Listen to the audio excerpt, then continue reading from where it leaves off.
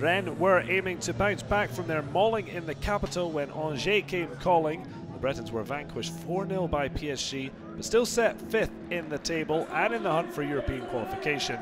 Angers, to their credit, are only three points shy of their hosts after a hard fought win over Lille last weekend. Rennes, though unbeaten at Roazhon Park this campaign, only Bordeaux have escaped with a point this season.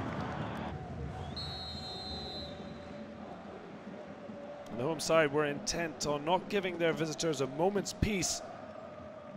Just 21 minutes in, they forged ahead. A terrific driving run from Ludovic Baal. He found the run of Giovanni Sio, and somehow he snuck it into the bottom corner.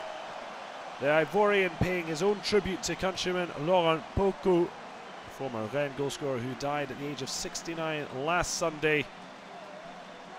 Terrific run onside around Mathieu Michel and sliding home his first goal since September, his third of the season. Angers certainly looking on edge.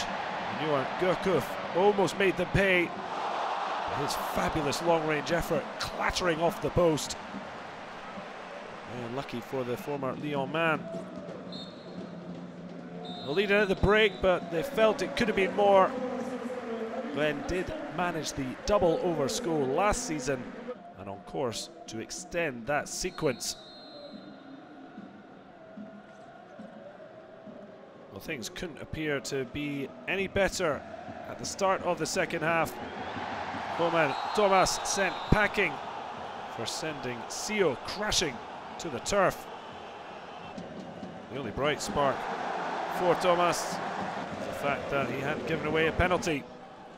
And yet, a goal and a man down, Angers found inspiration from another Ivorian who's intent on celebrating the life of Pokou in style. An absolute cracker from Nicolas Pepe. Well, what a way to get your first ever top flight goal on loan at Orléans last season.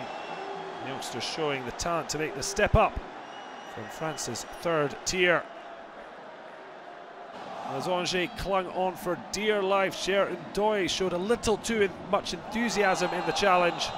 The school captain seeing red as Stéphane Moulin's men finished with nine. But in the end, a hard-fought point for Angers. Rennes paying for their goal being the only shot on target they had in the entire 90 minutes. 1-1, it finished.